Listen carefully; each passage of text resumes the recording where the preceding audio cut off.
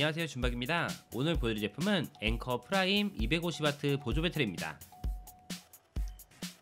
앵커에서 새롭게 출시된 신형 제품으로 똑같이 프라임이란 이름으로 세 가지 모델이 출시되었습니다.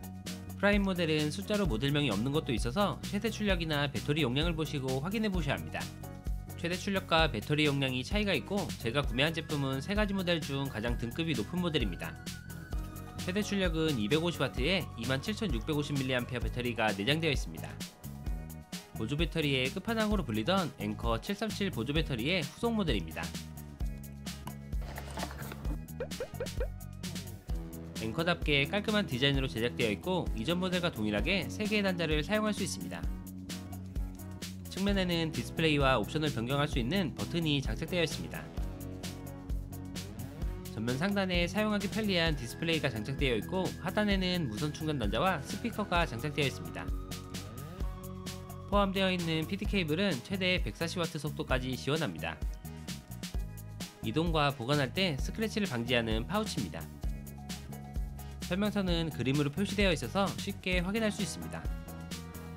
무게는 668g으로 배터리 용량이 큰 만큼 무게도 무거운 편입니다.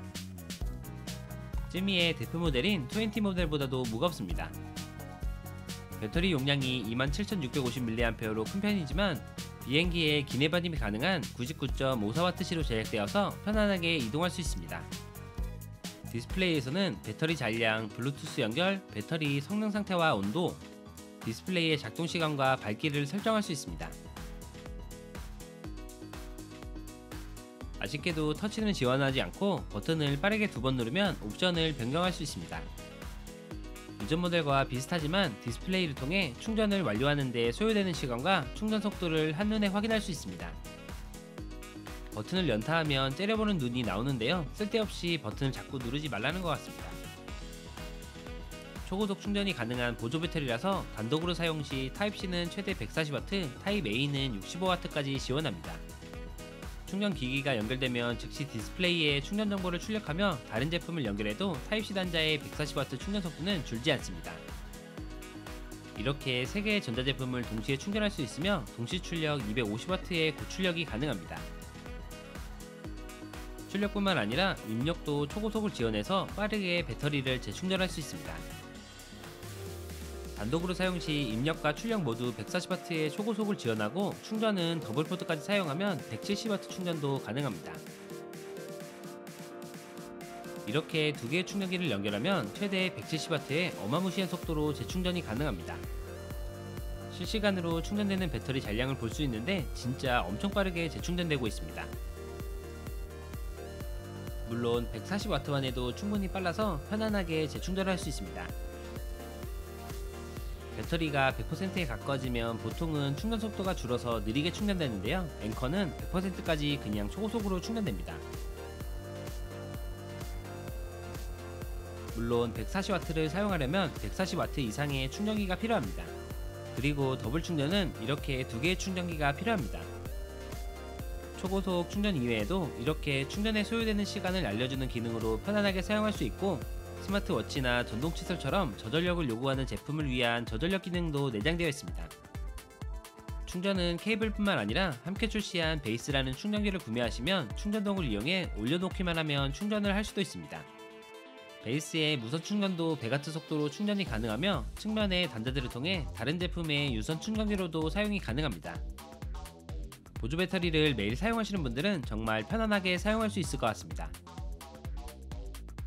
그리고 이번 모델에 추가된 기능으로 앵커 전용 앱을 이용해 배터리의 상태나 옵션을 관리할 수 있습니다. 블루투스 기능을 이용해 빠르게 연결해 제품을 등록할 수 있습니다. 이렇게 디스플레이보다 정밀하게 배터리 상태를 앱에서 빠르게 확인할 수 있습니다. 이거는 함께 출시한 세 가지 제품 중에 250W 모델에서만 사용할 수 있는 기능으로 배터리 위치 찾기 기능이 내장되어 있습니다. 앱에서 배터리 찾기 버튼을 누르면 배터리 하단에 스피커를 통해 비표음을 울려 배터리 위치를 찾을 수 있습니다.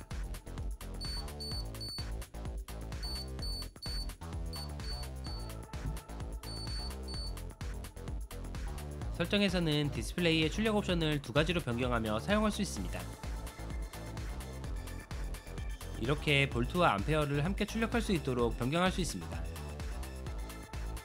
배터리 수명을 연장하기 위해 매번 충전하는 게 아니라 시간을 지정해서 충전할 수도 있습니다. 앱에서는 추후에 업데이트가 진행되면 업데이트도 진행할 수 있습니다. 자주 사용하는 전자제품을 등록해서 현재 남아있는 배터리를 통해 몇 번까지 충전이 가능한지 확인할 수도 있습니다. 이렇게 등록해 놓은 전자제품은 보조 배터리에서도 충전이 가능한 횟수를 확인할 수 있습니다. 사용하시는 제품의 종류와 배터리 용량만 입력하시면 간편하게 등록해서 확인할 수 있습니다. 이렇게 빠른 초고속 제품도 드물고 디스플레이와 각종 기능을 통해 편안하게 사용할 수 있는 모델이었습니다.